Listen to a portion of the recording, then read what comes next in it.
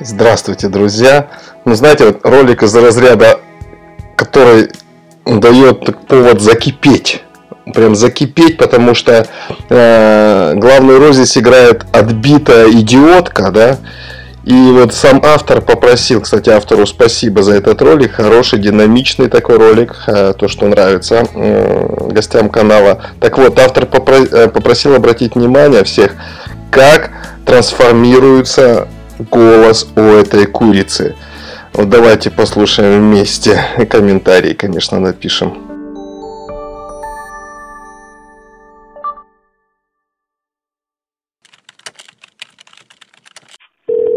Алло. Алло. Здравствуйте. Компания Имбайт Финансов, специалист административного взыскания, Глебова Анастасия Анатольевна. Разговор записывается. Скажите, Михаил Николаевич, вы? Да, я. По поводу долга звонила в банке Ренессанс кредита. Кредиты наличными долг не погашены. Основная сумма 369 тысяч 700 рублей долга. Угу. На данный момент банк Ренессанс проводит акцию частичное списание задолженности. По акции нужно платить 94 тысячи 400 рублей. Если оплачиваете ранний срок до конца этой недели, до 21 мая, разницу спишет банк вам. Ну, у меня нет таких денег. Поступает? Нет? А зачем вы брали кредит, раз у вас нет этих денег? Друзья, вот в этом месте. Ну, во-первых, идиотский из разряда вообще мега супер логических вопросов. А зачем вы брали кредит, если у вас нет денег? И вот в этом месте начинается та самая трансформация, метаморфоза. Давайте, только, а, ну, как говорится, нервы в комок соберите свою, держите себя в руках. Это прям действительно ощущение такое непростое, то, что сейчас вы можете почувствовать. А вам какая разница? значит, какая разница? Это вам какая разница? Будьте, Понятно? Имущество будет ваше. Вежливее будете с родственниками, да? И родственники с вами. А вы сейчас разговариваете не со своими родственниками. Вы взяли чужие деньги и потратили их. Я и ваши... будьте добры вернуть. Вы, и вы так разговариваете, как будто я ваши деньги взял. А чьи вы деньги взяли? А лично ваши чьи? деньги были. Я спрашиваю, чьи вы деньги взяли? Они вам принадлежат? Это ваши деньги? Так, вы вы таких не заработали, вы их даже не заработали. Вы не способны были их заработать. А теперь идите продавайте имущество и расплачивайтесь. Ты, блядь, дура совсем, что ли? Или что, блядь? Тикать вы будете своим родственникам. Вы работали электромонтажником. Что, много зарабатывать стали, что по 200 тысяч берете? Не, ну вы посмотрите, какая тварь-то, а? Электромонтажник ее не устраивает. Да человек пользу людям приносил, действительно, настоящую пользу. А ты кто такая, чтобы оценки давать электромонтажнику, человеку, который имеет образование, который знает, куда применить свое дело так, чтобы помочь людям? Ох, да, вот, друзья, закипаем, закипаем а теперь у вас денег нет. Надо было раньше думать, что у вас денег нет. Вы профессию выбирали. Михаил Николаевич, либо идете и оплачиваете долг, либо в принудительном порядке через опись имущества будете расплачиваться с банком. Если банк обратится в суд. Статья 80 Федерального закона об исполнительном производстве. А, друзья, ну и тут мы, конечно, по моей э, хорошей доброй привычке обратимся к самому закону. Статья 80 Э, наложение ареста на имущество должника. И прям первая часть. Судебный пристав-исполнитель в целях обеспечения исполнения исполнительного документа, содержащего требования об имущественных взысканиях, вправе, а это ключевое слово здесь, в том числе в течение срока, установленного для добровольного исполнения должником содержащихся в исполнительном документе требованиям, наложить арест на имущество должника. При этом судебный пристав-исполнитель вправе не, не применять правила очередности обращения взыскания на имущество должника. А вот здесь вот просто первой статьи достаточно, чтобы совсем разобраться. Вот это слово, которое употребилось в данной конкретной первой части этого, этой статьи, вправе, то есть на усмотрение. А почему на усмотрение? Да потому что я в очередной раз повторю, то, что всегда всем нашим клиентам повторял. Не нужно прятаться от пристава. Пристав очень любит, когда к нему приходит а, должник, а еще больше любят приставы, когда должника защищают юристы. Потому что Стоит приставу только подумать о какой-то бумажке, эта бумажка уже лежит у него на столе. Потому что юристы, как правило, ну, во всяком случае, юристы компании Лям, точно знает наперед, о чем подумает судебный пристав. Так вот, судебному приставу самое важное минимизировать то количество рутины, которое на него сваливается при каждом новом деле. А дел у него, поверьте, а, вагон и маленькая тележка, особенно по банкам.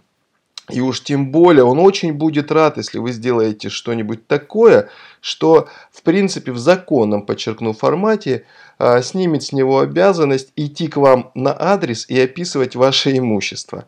А для этого нужно элементарно прийти к приставу и договориться о том, как вы будете оплачивать а, вот этот свой долг, если уже, конечно, дело э, у пристава исполнителя.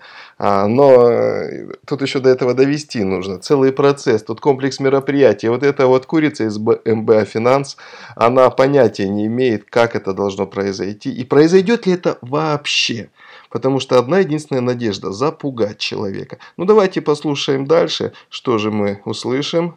Будете смеяться потом когда соседи будут смотреть, как приставы будут описывать ваше имущество по месту регистрации. Ты дура, вот тогда посмеетесь. Ваши родственники посмеются над вами. Потому что их имущество тоже будет описываться. Посмотрим, как смеяться будете. Конечно, будем. Да, будете смеяться, а потом плакать начнете. Вы это успокоительных, может, По улице Лаптева, дом 5, квартира. Да, друзья, как часто я слышал вот это вот, когда им нечего говорить, они начинают а, называть адрес должника. Уже понятно, что человека не сбить с толку, не испугать. На что ты надеешься? Ой, господи, вот курица-то курица, и мозгов столько же, как у курицы. На что ты надеешься? Он уже тебе четко продемонстрировал, что э, он не воспринимает тебя, и твои угрозы ничего не стоят в отношении него. Но самое обидное, друзья мои, это в отношении этого человека эти угрозы невесомые сколько людей вот такие вот э, кряквы умудряются сбить с толку и заставить идти платить. Бабушек, дедушек, простых, нормальных, взрослых мужиков.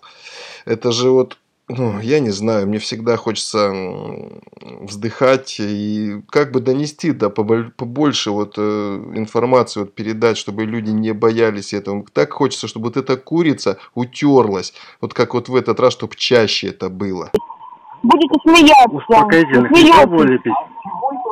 Михаил Николаевич, скоро вам не понадобится. Да вы что? Вот имущество процесс не из приятных, знаете ли. Возможно, также перепродажа долга. О, вот это, вот это меня Гражданского кодекса Российской Федерации. Я не спрашивала, что вас устраивает. Давайте вы купите у меня долг. Я не спрашивала, что вас устраивает. Все, Понятно, что захочет банк, то и будет вашим долгом. В случае чего также арест имущества. И, соответственно, также наложение ареста на денежные средства. Любые ваши денежные средства. Статья 81 Федерального закона. Друзья, слышали, что взбрякнуло это? на любые денежные средства. Ну, давайте мы опять посмотрим статью 81 Федерального закона об исполнительном производстве. И понимаете, статья 81, это так и называется, наложение ареста на денежные средства, находящиеся в банке или иной кредитной организации. И дальше ничего читать не нужно. Ни на какие, ни на любые. Понимаете, можно просто открыть Яндекс деньги, завести карточку. Можно Киви кошелек открыть, завести карточку. Можно в иностранном банке завести карточку. И скажу я вам секрет один такой. Ну, для кого-то это даже и не секрет. Дело в том, что у пристава нет какой-то такой волшебной кнопки у судебного пристава, с помощью которой он может э, арестовать все, буквально все счета во всех банках нашей страны. Нет. Это делается чисто механически. У, у приставов есть некий топ, там, ну, в крупных городах, там, ну, вообще, ну, 30 банков, там, не больше, да, при всем вот этом изобилии банковских структур, ну, с тридцаточку банков основных, таких вот, самых распространенных, которые на слуху, именно туда отправляются запросы. Уж если вы не можете какое-то время потерпеть без карточки, то здесь решается вопрос элементарно. Вот таким вот образом, что можно найти какой-нибудь там региональный небольшой банчок какой-нибудь, да, у самого банка поинтересоваться, у сотрудников банка, имеется ли вот, э, вот это вот э, возможность влипнуть с этими деньгами, протестировать какой-нибудь счет у этого банка, да, если у вас есть исполнительное производство, открыть, да, его, этот счет, положить туда 2 рубля, подождать, будет ли арест на счетах. Если уже арест, э, обеспечительные меры уже скажем так, вынесены и уже арестованы какие-то счета, а, то в принципе вновь открытые счета ну, крайне редко могут попасть. То есть пристав не сидит и не ждет, когда же вы что-то там откроете. Ему вот кроме вас еще есть кем заниматься, поверьте. Один раз он сделал эту работу и забыл. То есть он свои обязанности выполнил и забыл. Вот отправил эм, запросы в определенные банки и не делает он эти каждые полчаса это, поверьте. И даже каждые два дня он этого не делает. А, так что это все ну, до такой степени условные санкции, поэтому с этим тоже можно совершенно спокойно жить. Ну давайте дальше будем слушать, чуть-чуть осталось, наберитесь терпения. В исполнительном производстве. И на место работы поступит информация, тогда кипятиться будете вы, понятно? Выражение подбираете. Какие хочу, такие Я смотрю, вам плохо. Может, мне вызвать скорую, у вас какой-то приступ смеха непонятный. Вы уверены, что вы не переработались там, нет? А как, Нормально? А как Или в диване лежите? Такая дура, блин, вообще. Несешь чушь вообще? Итак, ожидайте, данная запись разговора попадет не только в банк, но в дальнейшем, если банк обратится в суд, судья послушает. И, соответственно, вас тут никто не пригласит. Отлично будет потом, когда имущество пойдет через погашение долга. И когда ваши родственники также послушают данную запись разговора. Что? Николай Николаевич, 80-го года рождения, не в состоянии себе на жизнь заработать, на диване днями лежит. Ожидайте. Да, друзья, рвануло ей так рвануло заднее место. Ну, я надеюсь, вас повеселил этот ролик. Ставьте лайк, подписывайтесь на наш канал. А, комментарии, я чувствую, будут очень интересные. И я с удовольствием их почитаю. А, ну, для новых посетителей нашего канала, для тех, кто хочет встать под юридическую защиту, а именно обратиться за помощью к высококвалифицированным юристам. А в компании Алям работают только такие специалисты, так как мы являемся одним из ведущих кредитных юридических операторов на территории Российской Федерации. Мы работаем по всей России, где в каком уголке нашей необъятной страны вы бы не находились. Если у вас есть интернет, вы можете спокойно воспользоваться нашими услугами. Как, что, сколько времени это будет длиться. А, все эту информацию вы можете получить у нас на сайте. А, сайт обычный, но на сайте есть видео. Ссылочка на сайт в описании этого либо любого другого ролика есть, само собой. И также я хочу обратить ваше внимание, что на сайте выложено видео, видеоинструкция, как устроена работа кредитных юристов компании Лям. Вот именно в этой инструкции все по полочкам разложено. Я категорически рекомендую всем, кто сомневается, кто уже принял решение, кто вообще не верит вот в это, что от кредитов можно абстрагироваться и жить спокойно. Пожалуйста, посмотрите это видео. Никаких волшебных слов вы там не услышите. Вы услышите четкий конкретный расклад, как можно избавиться от кредитного бремени.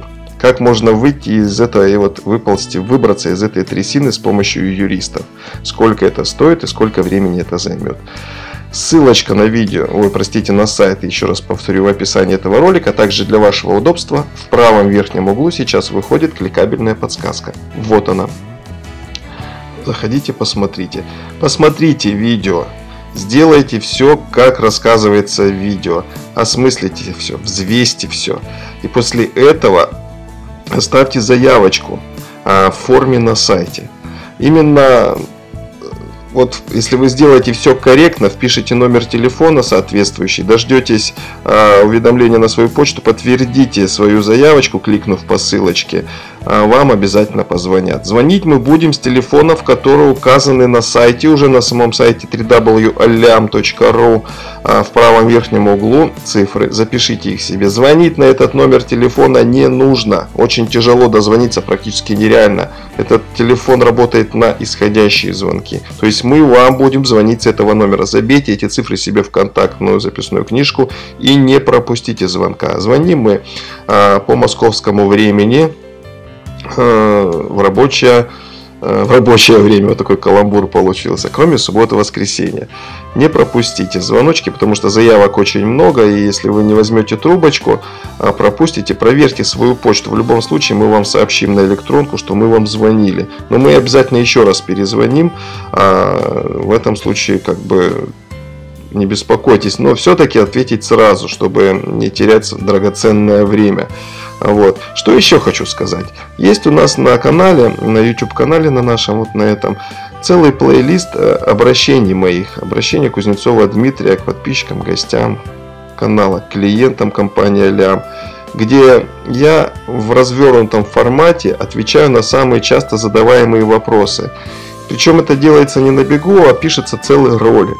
Я думаю, многим из вас будет это интересно. Потому что вопросы, конечно же, есть у простых людей, кто не обременен юридическими знаниями. Поэтому я вас э, приглашаю посмотреть вот эти обращения. Целый плейлист создан и ссылочка на плейлист, кликабельная подсказочка, э, выходит в правом верхнем углу. Вот она. Еще раз напомню, друзья, не забудьте посмотреть видео на сайте. Без этого у нас разговор не сложится. Мы будем вам звонить, и нам нужно, чтобы мы с вами на одной волне были чтобы наши юристы, наши сотрудники не пересказывали вам суть этого всего. Еще раз повторяю, посмотрите видео на сайте. Кликабельная подсказка в очередной раз для вашего удобства выходит в правом верхнем углу видеотрансляции. Вот эта подсказка. Ну а всем остальным я, конечно, предлагаю поставить лайк. Кому, кто давно уже на нашем канале, кто знает, э, что несет в себе этот канал. Настоятельная просьба, репост. Поделитесь в соцсетях. Репост в соцсетях дает э, как бы в геометрической прогрессии возможность как можно большему количеству людей узнать всю правду. Чем больше людей окажется на нашем канале, тем проще им будет житься. Ну и вы свое, как говорится, предназначение выполните хоть немножко, потому что действительно эту правду нужно знать. На этом я с вами прощаюсь. Э, с вами был Дмитрий Кузнецов, компания а Центр юридической защиты. Всего вам доброго, друзья. До свидания.